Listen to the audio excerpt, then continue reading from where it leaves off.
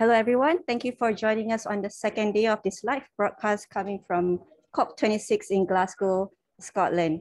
Uh, the Earth Journalism Network, EJN, a project of Internews and the Stanley Center for Peace and Security have brought 22 journalists from developing countries to cover the 26th UN Climate Change Conference of the Parties, COP26, as part of the Climate Change Media Partnership Program. This is an annual fellowship to the Climate Change Conference, which started in 2007. CCMP organizers believe that it is critical for journalists from low and middle income countries to have the opportunity to report live from COP26, uh, which represents a pivotal moment in the global fight to combat climate change. Of course, with COVID-19 this year, um, travel has been very difficult, uh, more than ever for journalists to attend this conference. And because of this, we are presenting this live broadcast as a resource for journalists who can't be here um, to attend in person at COP, uh, to still have the resources and the stories for them to do their coverage uh, remotely. Uh, from today until, no, uh, from yesterday until November 13th, we will host the broadcast, uh, which is half an hour long, in which every day we will feature three speakers, the first of which will be a trainer from the CCMP program, followed by a fellow and an external speaker. And today's theme is green technology, renewable, uh, green technology, renewable energy, and also innovation. So there's an increasing understanding on the topic of how the use of cleaner and more efficient energy technologies can reduce current costs and how this will allow for more techni technological options to exist. With climate change policies, there will be the adoption of new climate mitigation technologies to speak on their country's context on this topic and what kind of stories journalists are exploring on this. Uh, we will have our first speaker, Fermin Koop, the environmental reporter from Argentina to speak more on this. Hi, how are you? Welcome, uh, nice to be here. So Fermin, he is an environmental reporter from Argentina. He's a regional editor at Dialogo Chino mm -hmm. and is a COP trainer for the Climate Change Media Partnership Program. He holds a bachelor's degree in journalism and an MSc in environment and development. So Fermin, maybe we can start with, uh, you were part of the CCMP program uh, way back in 2014, covering your first COP. Um, so can you share about how the fellowship maybe has changed uh, the course of your career in environmental journalism, or maybe what it has maybe inspired you to do subsequent to your first COP? Definitely. Well, uh, being part of CCMP was a game-changing movement as part of my career. Back then, I was working at a, in a newspaper uh, in Buenos Aires, in Argentina, uh, covering uh, economics, politics, and on the sidelines environment, which was a little tricky. My editors weren't really truly convinced on, on reporting on this. Uh, so I had to push the agenda forward quite significantly. And uh, one of the ways to do that was uh, applying for CCMP, and which I actually succeeded on, and uh, enabled me to go to Lima for my first COPA, uh, which is the one previous to the Paris Agreement. Uh, it was a really big deal for me. I mean, I got the chance to be in this big, massive event, which was really overwhelming on the first few days, as it as it is probably for many of the people that are attending COP for the first time. but after actually being there, I started a new programs, new projects. I engaged with new stakeholders and other reporters from around the globe. And it was a really big, big moment in my career. Thank you. So can you maybe uh, share with us what kind of stories do you publish, um, you know, for your outlet, and what kind of key headlines coming out of COP that you're paying attention to? Definitely. So uh, the outlet that I write for, uh, which I'm also the editor covering Argentina, Uruguay, and Chile, focuses on the relationship between China and Latin America on environmental issues. Uh, so our readership mainly is based in Latin America, speaking different languages, but looking after issues related to the region. So the stories I'm pursuing here are mainly related to that. Uh, I already posted one as a sort of wrap up of the first week for uh, the region specifically. Now we are posting a second one today on land use since agriculture is a big topic for the region. Uh, we are going to be also doing a few interviews interviews with some experts across the region that are here at COP as well. Um, and I imagine that this year we'll specifically be seeing at COP, uh, or, actually we already seen a lot of announcements from many governments uh, when the COP started. We'll probably see more of this in the coming days. Today and tomorrow we have the high level segment in which ministers will be speaking. Uh, so it's really a high level uh, COP with a lot of momentum, which I don't think I've seen in the last few ones. So it's definitely a big deal. I would just like to uh, let everyone know who's joining us that if you have any questions for Fermin, please uh, put them into the chat box and we will address them after he's done with our final question. So um, in the context of Argentina, uh, what do you think is driving the government's decision to adopt favorable policies for renewable energy? And maybe can you speak more about the energy transition in your countries? Um, as a journalist, what kind of stories are you pursuing beyond COP26 on this? Definitely. So I actually been reporting quite a while uh, on on energy transition. I've done a fair number of stories recently. Uh, many of the countries in the region rely on fossil fuels for their energy matrix. Uh, at least in Argentina's case, 75% of the energy of the fossil fuel metric is related to fossil fuels, mainly natural gas. Uh, so it's quite tricky to move ahead in, the, in that part of energy transition. There's still not that sufficient level of policies in place. Uh, we've seen a little bit of growth in solar and wind over the last few years, uh, but still we need more momentum towards that. Uh, I initially expected to see some of that as part of the green recovery efforts. Uh, but sadly, it's, uh, it's been mainly business as usual across Latin America, uh, with the still of many countries still investing in fossil fuels. Okay. Uh, thank you so much, Fermin. Do we have any questions from the audience for Fermin? Okay, uh, for now, we don't have any, okay, but please no stay worries. on in case Definitely. there are curious uh, people who will be joining us later. Definitely. Thank you so much. Uh, our next speaker, we will have Isaac Anyaogu, who writes and edits stories on energy and environment for Business Day, a business daily based in Lagos, Nigeria. He's been a journalist for about five years. Uh, welcome to our broadcast, Isaac. Thank you. Thank you for having me. So um, I understand that this is your first COP. So what are you hoping to get out of this, this conference? So essentially for me, it's an opportunity to understand the issues fully so you hear of uh, adaptation, mitigation, climate change. I want to be in the room with the experts to kind of get a feel of uh, why these issues are important and how it can be reported in such a way that it makes an impact.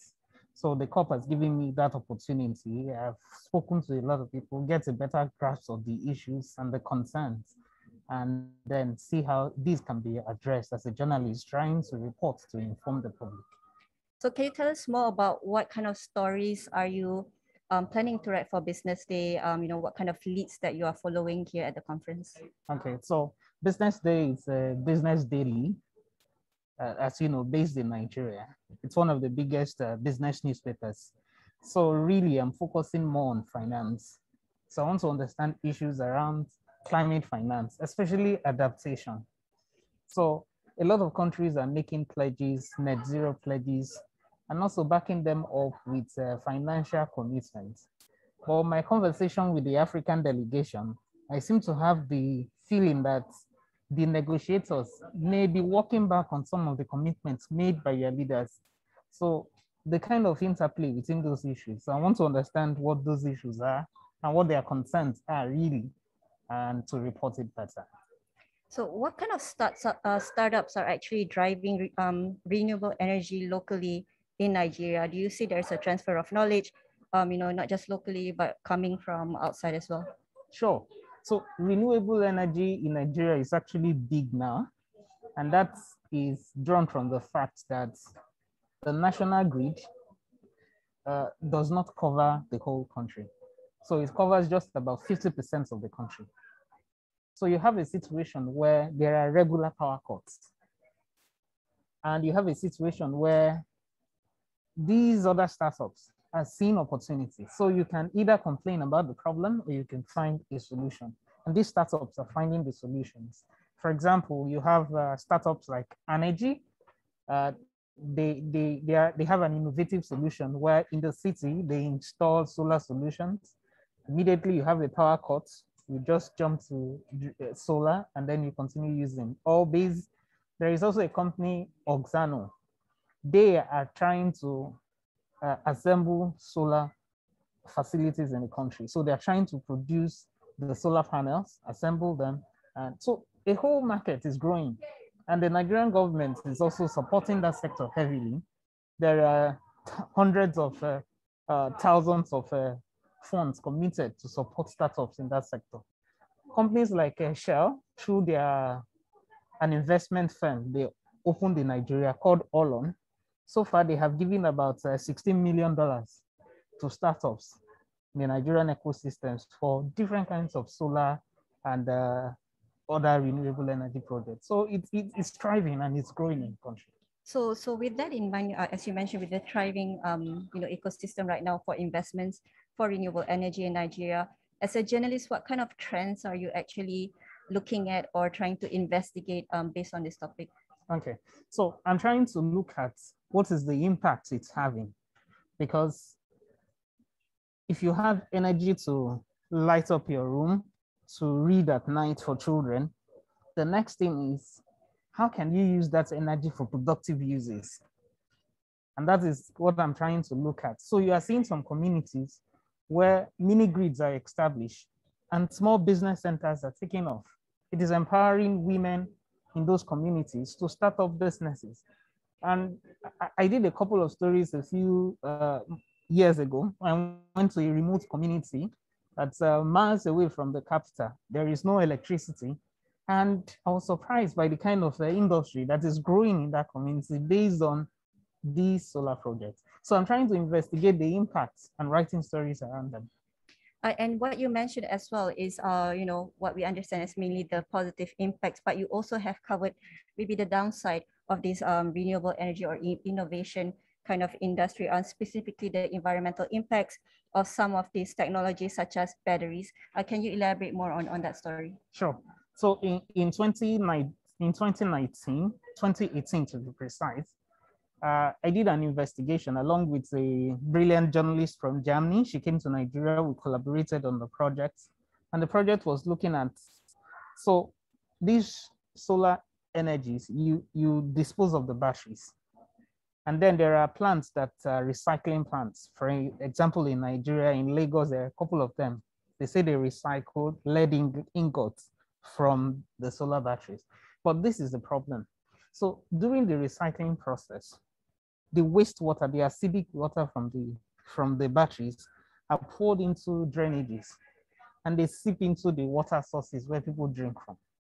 And that is a serious environmental threat, you know.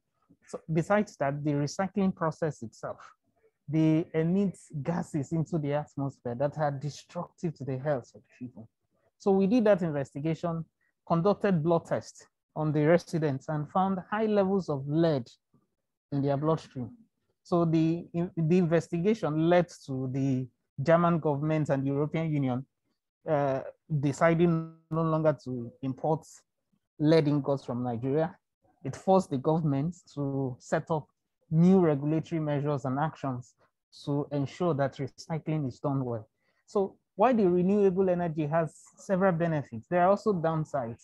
And the downside can occur when you don't treat the waste the right way because batteries are hazardous waste.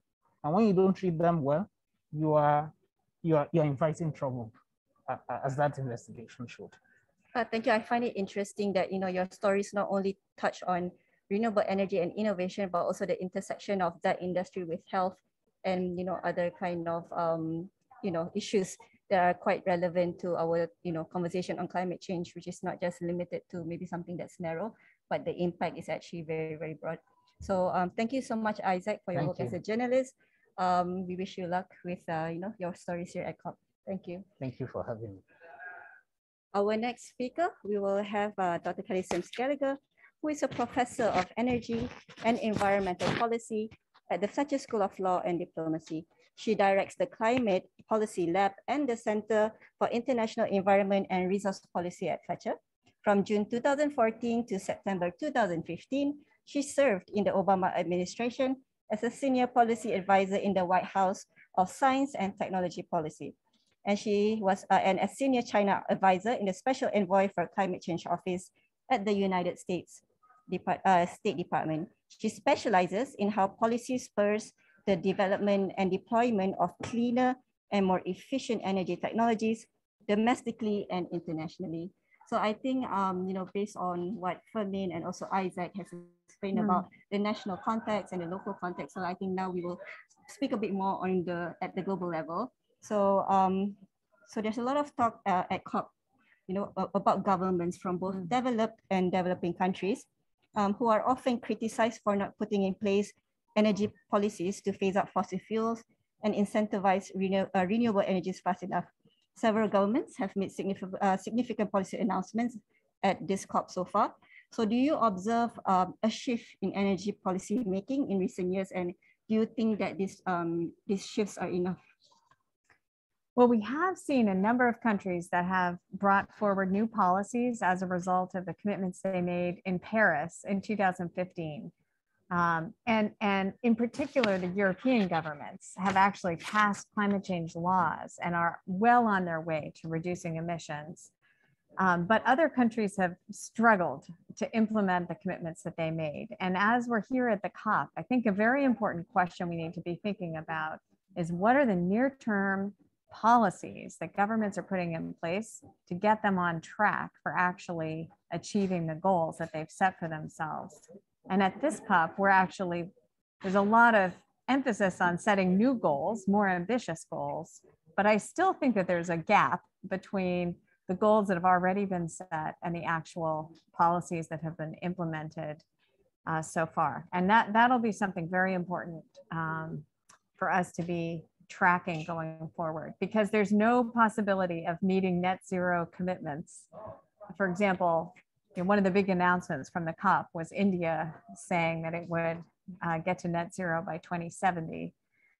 But there's no chance for India to get to net zero uh, by then, or for the United States even to get to net zero by 2050 without real climate change legislation, policies, regulations uh, actually in place today the, in other words, the long-term action depends on near-term policies.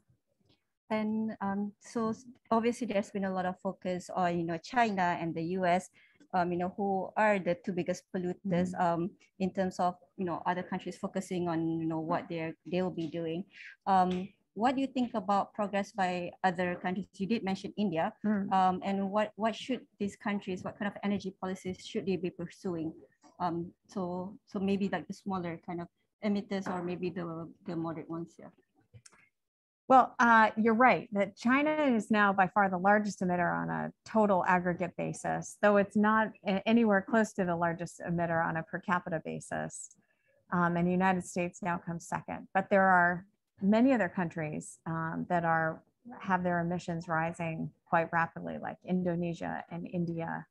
Um, and I think what we see is that these countries are waking up to the need to implement new policies. For example, in Indonesia, there's a new renewable energy law under consideration. And also Indonesia is considering a new carbon tax. Um, so I think the policies like these uh, will very much help these countries to begin uh, to think about how they're going to reduce their emissions. But at the same time, I think it's very important for, for developing countries to be looking at adaptation and resilience policies because climate change is already here and countries need to be preparing um, for the impacts of climate change at the same time. So uh, for journalists who are covering the topic of climate change and energy transition, uh, what do you feel are you know some of the topics that maybe are being underreported at the mm -hmm. moment and how can they cover uh, certain concepts like just transition well because it is quite loaded so mm. so where do they even start well, let me start first with this, this idea of a net zero trap. Uh, this is a, a, concept that political leaders are setting these very long-term targets. And the trap that, that we all might be falling into as observers is thinking that because this long-term target has been set, country will actually achieve that goal. Uh, so I think a very important story for journalists to follow is what are the near-term actions that the government has taken within the, the political leader's current term of office. What are they doing today to get the country on track? I think also as we as we continue through this energy transition, um, governments need to be investing in energy innovation. They need to understand um, which energy technologies are suitable for their country and their unique national circumstances. And they need to, to really look hard at what that transition will look like from fossil fuels to cleaner sources of energy. And this term, just transition, is a very big term, but uh, really the, the issue is how do you ensure that there's fairness and um, social justice for all the workers who are currently employed in carbon intensive industries and making sure that there's a pathway for those workers um, and for the economy overall um, to shift to cleaner, cleaner sources of energy and lighter industries, lighter in the sense of less polluting industries, um, because that kind of compositional change will be very important for all economies as they search for that low carbon development model that's compatible uh, with a you know, 1.5 degree uh, world. Uh, you did mention about you know tracking government's policies and also um, you know how they implement it, mm -hmm. whether it's a longer or short term uh, short term goal. So do you have any tips for journalists on how they can actually um, do this tracking, mm. how they hmm. can track this well? Because I think policies are a bit tricky mm. to, hmm. to cover. So so what can you maybe advise journalists? Well, I think that the the thing that happened, that the trickiest thing is to not just interpret a target as a policy. So if a government like India says, we will have 500 gigawatts of non-fossil energy by 2030, which is India's new target, um, then you need to see what are the actual policies that will help India achieve that target. Are they going to have a new feed-in tariff? Are they establishing a renewable portfolio standard? What are the actual policies that will create those incentives in the marketplace. And so we need to hold the governments to account that they actually put those incentive policies in place. They can use a, a carrot and stick approach. You know, what, one of the criticisms of the Biden administration's approach is that it's all carrots, right? They're trying to incentivize the marketplace with tax credits and loan guarantees and other sorts of fiscal tools, policy tools. Um, but but most people believe that you need to have some regulations performance standards for example saying you know the, the cars can only emit this amount of pollution um, you know per kilometer traveled um, or power plants can only emit a certain amount of pollution. So you need to have this mix of different types of tools. Uh, thank you kelly. I think we will uh, take some questions from the audience. Uh, we have a few. Uh, the first one is out of all the options for decarbonizing transport in developing countries, mm. which ones are the most efficient um, and effective? Some sectors are pushing for zero emission vehicles and electric vehicles, but how does this compare to making public transport infrastructure that takes out cars altogether?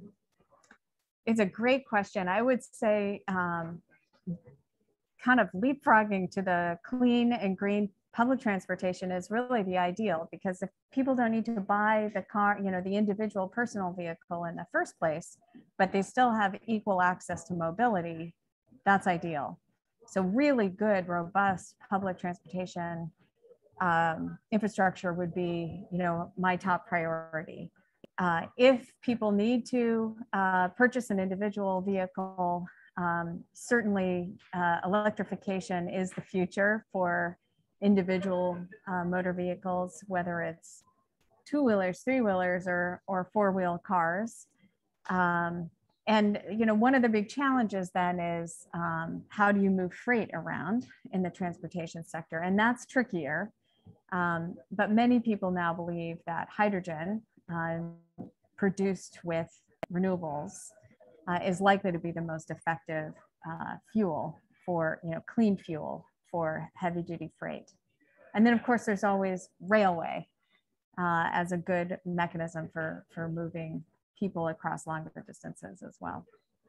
Okay, um, our second question is um, Metro Manila is a mega city notorious for traffic jams. Mhm. How does this contribute to emissions and how can governments address this? Yes, uh, I don't remember the exact percentage of emissions from people just sitting in traffic, but imagine how frustrated everyone is getting, how much time is wasted, and how much fuel is wasted uh, from traffic congestion. So again, moving to more effective public transportation systems that actually are so good, people are incentivized to leave their car at home or not buy the car in the first place. That's the ideal. I think uh, we have time for one more question. Um, what are underreported energy topics that you will suggest journalists to pursue? Um, so I, I think it, it goes back to um, some of the tips you mentioned earlier. So I think people just, uh, journalists especially, would just want to know where is a good place to start? Well, we have to move away. I mean, the, the bottom line is we have to be moving away from fossil fuels towards cleaner uh, forms of energy. Uh, and so I think the first question is, do the country, you know, wherever you're working, does that country's policy still support fossil fuels? Are there subsidies for the fossil fuel producers? If so, that is something to report on. You need to shine the spotlight on the fact that the governments are still supporting fossil fuels and therefore not supporting, you know, the cleaner, greener uh, technologies and approaches. I think also checking to see what is the government doing in terms of investments in energy innovation. Those sorts of investments are very important to launching the new industries of the future. Uh, and if a government doesn't have a plan yet for how it's going to transform its economy, uh, invest in the new technologies of the future, train the workforce, there's no hope for transforming the economy. So those would be two, two places I would start. Um, maybe just one last question. Mm. Um, what kind of um, topics within transfer of knowledge right now, uh, within this transfer of knowledge uh, between countries in terms of energy, do you feel that maybe journalists should look at, uh, look at more, more of? That's a good question. I think uh, one area that, that is very important is the trade of cleaner energy technologies and the barriers to trade that are cropping up. For example, between the United States and China, and between Europe and China, there are numerous trade barriers now on solar PV, uh, where the United States and Europe have put in tariffs on imports of solar PV. Well, that hurts consumers in the United States and Europe uh, who want to adopt solar PV. Uh, so I think one thing that's very important for developing countries is to try to make sure that there's free trade um, and, and no barriers to trade uh, in, in these cleaner energy technologies. Um, thank you very much, Kelly. Uh, we hope that more journalists will pursue stories on energy after this uh, with a clear direction uh, with your tips in mind. Great. Thank you so much. Thanks for having me. Thank you. So that's all for today's broadcast. Uh, thank you so much for joining us on day two. Uh, we hope that uh, the speakers today have enabled you to improve on your coverage for topics, especially on renewable and clean technology. And for tomorrow's theme, we will have climate change and health. So if you are interested in this topic, uh, please join us again at the same time. Our speakers will be Joydeep Gupta, Disha Shetty, who are both fellow and tra uh, trainer at the uh, Climate Change Media Program here in Glasgow. And our external speaker will be Antonella Risso from Healthcare Without Harm. Uh, thank you for joining us today and please visit the EJN website for more resources like this and also to find out more about our fellows and trainers at COP26. Thank you and please stay safe.